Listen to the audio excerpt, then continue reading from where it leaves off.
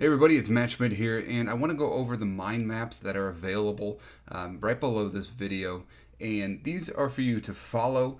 Uh, I still recommend you going 100% through the videos. Do it over and over again until you have it clear and concise in your mind on how to do this process. But we wanted to give you the mind maps to follow as you are having your lead item go through the market and you're going through the product life cycles. So we're going to start with obviously where here it says start. Um, first thing we got to do obviously is find the niche, find the product, and understand the audience with our targeting selection. Um, these are in the fundamental videos. Um, these are going to be the base understanding of what we're going to sell. We don't want to build a store out until we know that uh, we know what the niche is, we know what the product is, at least the first lead item, uh, and then we understand that there's a Facebook audience out there a lot of the times people will get caught up because they want to sell something so bad, but then they get to the Facebook audience targeting um, and it's not there. So we want to skip over that. We want to make sure all of these are understood. Uh, we want to make sure that we're moving into our store, um, installing our apps, and listing our first product to drive traffic to. Remember, the MVP model is about having that minimal viable product for you to launch a store around and start driving traffic and creating revenue. And we're going to go into the introduction stage. If you have a fan page, we're going to use that. If you don't, we're going to go down this method. So just if you have a fan page of 10,000 fans or more, you're going to boost a $5 non-link 1200 by 1200 ad to that page with the product, you know, asking them if they would wear this product or buy this product. Basically, have them envision themselves utilizing the product, whatever it is, if it's a widget, have them say, "Would you use this widget?" You know, something to have them envision themselves using that product. So we're going to analyze the results based off of some metrics that I list in that video, uh, basically looking for great feedback. Uh, and then we're going to have, you know, that, like I said, the great feedback here is 10 cents or below, then run this product, proceeds to the next mind map. If it's not 10 cents, through one of the two methods. If you had a page or if you didn't have a page, you want to make sure that you're looking back at this product. If you had a very good engager type interest, or if you had a page and you ran a $5 test to it with no link, there's no excuse for you not to get great cost per engagement if that product is desirable by the market. So if you're in the red here, you need to start over with your product. Find a new product. If you need to look at the target, Find a new target. If you remain in the same niche, your MVP model store will be fine, and we'll just have to change out the product. So if we do have a good uh, item, if we have a really good item, uh, we're going to go forward into the next mind map here. So if you have a successful $5 test, we're going to, you know, here's the 10,000 fan page again. Um, this is a secondary step that you can do in conjunction with it um, if you're aggressive with this item. However, I typically start with the PPE uh, ads. Now, PPE ads need to be done for your social type interest. If you have something like an accountant calculator or something, whatever you're selling, you're not going to want to do a PPE ad. But if it's applicable to what you're doing, if it's social, if it's t shirts, a piece of jewelry, PPE ads will work just fine. If you're more in the accountant calculator, uh, this might be the better, stronger ad for you. But it depends on what you're selling and who you're selling to.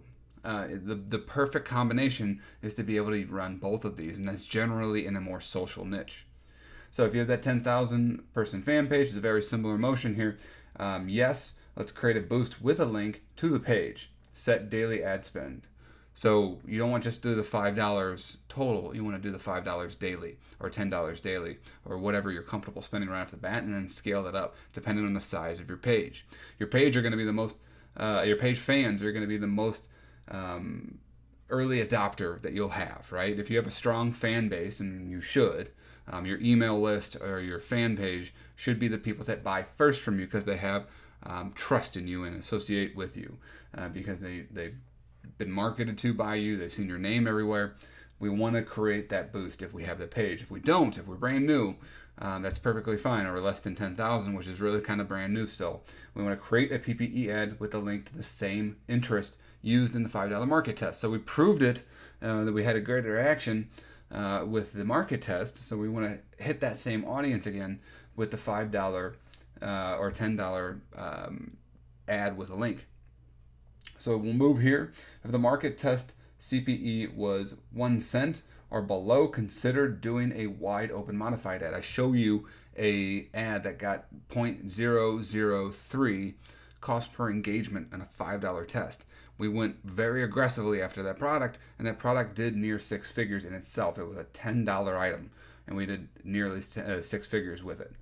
So that is something that you can take into consideration. How well does your market react to it? That tells you how aggressive you can be. Run the ads for one day to see if the CPE gets below 10 cents. One day's spend should get you into a somewhat optimized state. It will lower from there if it's good, but you should have um, good data on how your ad is performing after one day. If not below 10 cents, consider killing unless profitable. Continue to run the ads for an additional two to three days to let Facebook optimize. If it is, kill the losers we're we're optimizing on engagement here. Engagement doesn't mean sales. Take that into consideration when you're running these. You can have a very low cost um, CPE, but if you spend hundred dollars and it doesn't get you any sales, what good is it? So track your viral sales, track your um, paid sales, and make sure that you're understanding where these things are coming from. Scale your winners. We have a metric here that you can follow, and then find your ceiling to maintain ROI, uh, and let Facebook analyze and, re- and each budget level um, before considering scaling and lowering the budget again. Okay, so we're going to move on to the next one and we're going to scale into our growth stage. So this is a little bit more complicated. I'm going to do it at the top level. I just want you to understand where we're going here. So we're in the growth stage now, which means our product is taken off and we've gotten fire pixels on either the CTW or the PPE ads, um, and we follow the process here to get our pixel matured. That means we're having 50, 100, 150 sales, uh, and we have a good niche pixel now that we can take forward to our website conversion ads, where we're basing optimization off a pixel. So then we're going to start running profitable campaigns here because our pixel is going to be matured. We're going to cut right to the people. We can do a little bit uh, of a different targeting here. We talk about how we want to go after converters, people who are brand loyal if possible. Um, we're going to scale out in a very similar fashion. Uh, we're letting run for a day. Uh, we're going to have another two to three days for optimization. We, the scaling here is exactly the same, trying to find that ceiling. Um, we're going to make sure that our click to website is strong on our website conversion ads. That might make, not make a lot of sense, but basically, are people clicking to our website?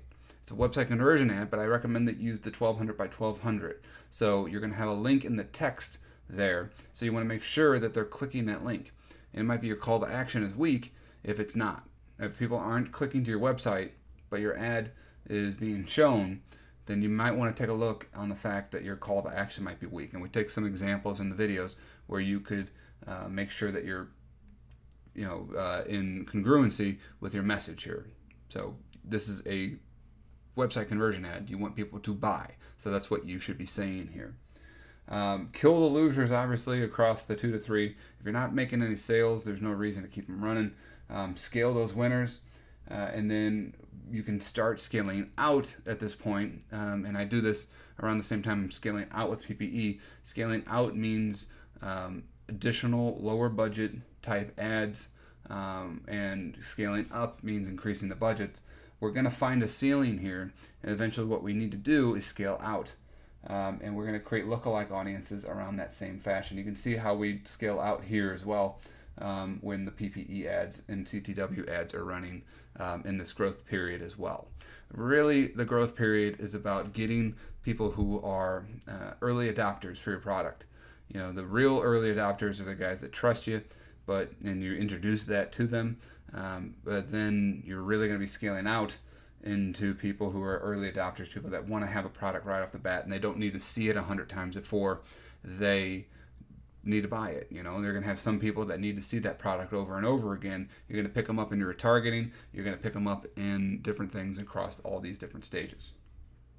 After this, let's move into the maturity stage. Maturity is going to be what is going to uh, lead you to a, like a lower uh, conversion rate. Your conversion rate is going to start to dip here a little bit. We are going to introduce video ads, hopefully before the dip um, or, or, too significant of a dip. Video ads can be done at an earlier standpoint if you have a add to cart pixel that is matured. Um, the more pixel fires, the better. Thousands and thousands here is what's led me to be able to go very broad with my video ads and do over $50,000 in revenue off of a handful of ads. You're going to be targeting longer tail broad interest, something with a little nuance to it. The example we used is not nursing, but nursing school. Just that little extra word there is going to help us target more of the right people. Uh, we're going to do the same type of review process, and video ads are very favorable right now for scaling. And you can win, you can scale up um, and cut down into winning demographics too, um, more than I've ever seen, uh, or at least recently, um, compared to the other ad types.